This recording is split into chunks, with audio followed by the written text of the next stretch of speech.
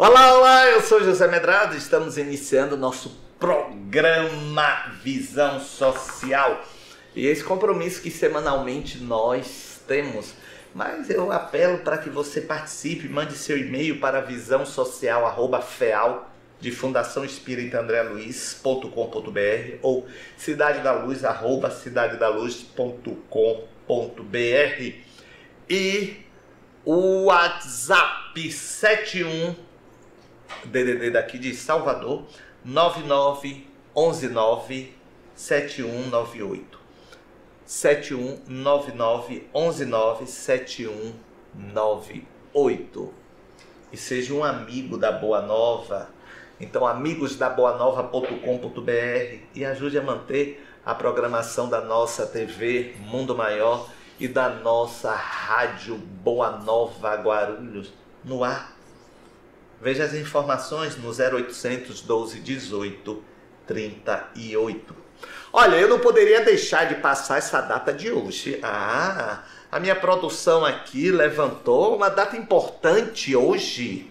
Hoje, dia 17, é o dia do funcionário público aposentado. Então é meu dia, o primeiro ano ah, eu aposentado, depois de 39 anos de serviço, sendo 37 na Justiça do Trabalho, no Tribunal Regional do Trabalho aqui da Bahia, e dois anos de Banco do Brasil, onde eu fui menor aprendiz, que conta também como serviço público. Então eu entrei no serviço público com 16 anos como menor aprendiz.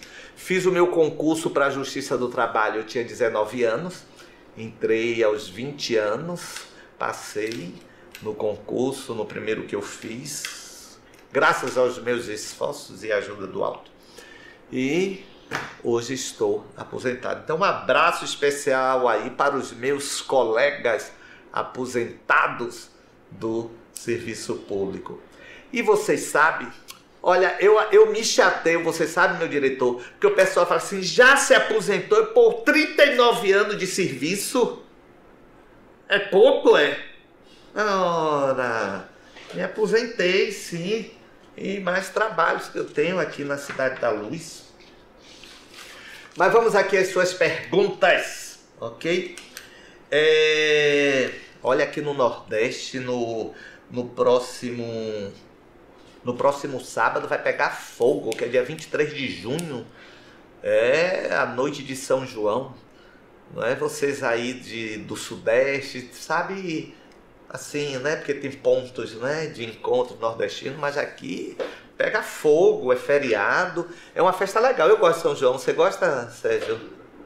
Eu gosto de São João, gosto muito de São João. Você gosta de São João? Hum. É, uma, é uma festa bem animada. Mas vamos aqui a Marlene Queiroz, que é de Piracicaba. Piracicaba. Aqui me diz o seguinte: nunca pensei que poderia ser traída por minha melhor amiga. Xiii.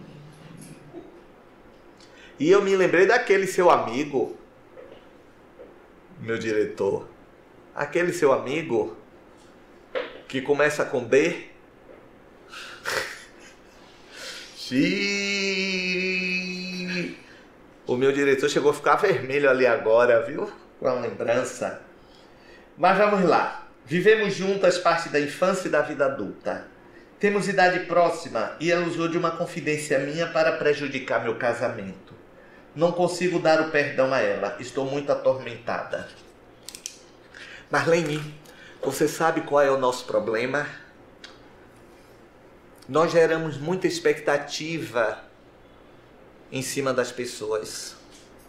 E as pessoas são o que elas são limitadas, problemáticas, frustradas, como nós. Cada um no seu percentual, cada um na sua proporção.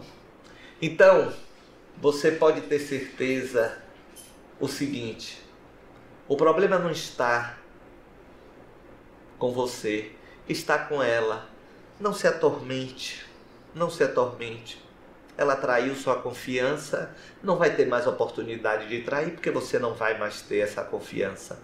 E siga adiante. Eu espero que você tenha ajustado aí o seu casamento, que você tenha contornado isto, até porque você sabe qual é, digamos assim, a grande vitória que podemos ter diante de quem se coloca como nosso inimigo, adversário ou de quem não nos quer bem? A nossa grande vitória, sabe qual é? Ficarmos bem. Quando o outro, a outra que intencionou fazer o mal, não conseguiu, é a maior vingança. É estarmos bem. É? fazendo o que nos compete, o que nos cabe de uma forma tranquila e perene. Não é verdade? Então, siga em frente, Marlene. Paciência, se ela não soube aproveitar a sua amizade. Tá bom? Judite Costa é de Aracaju. Eu vou estar aí em Aracaju no Prozebem, que eu sempre estou todo ano no aniversário do Prozebem, em agosto. Ela diz o seguinte: toda vez que recebo passe durante o dia, no plantão da casa que sempre vou, sinto aperto na cabeça. Se o passe à noite, não sinto a mesma coisa. Como explicar? Vai saber, Sérgio Pereira. Eu, hein?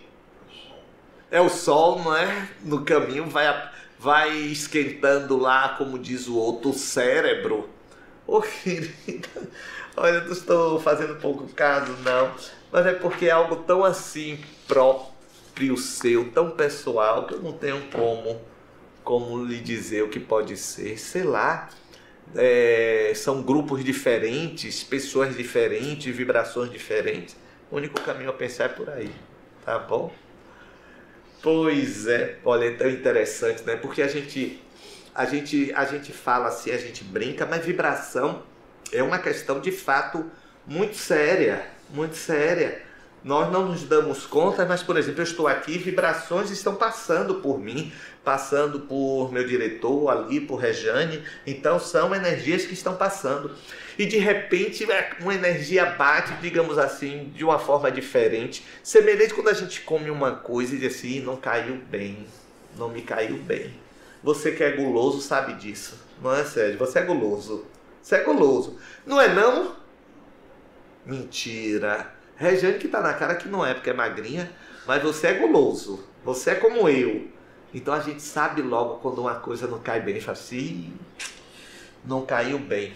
A mesma coisa com as vibrações, sabe, Judite? Pode ser isso, não é? Vibrações diferentes. Vou ao intervalo, não é isso, Rejane? Eu vou ao intervalo, volto já já. Sai daí não, olha uma coisa tão rápida que você não vai nem ter tempo de dar uma respiração profunda. Até já. Algumas pessoas muito caras ao meu convívio é, partiram para o plano espiritual. Eu passei uns 16 anos em um tipo de luto. A Rádio Boa Nova e a TV Muito Maior, elas são aquela companhia da qual você precisa e que te leva para a frente e te põe para cima nos momentos em que você procura respostas, perceba essa necessidade de renovação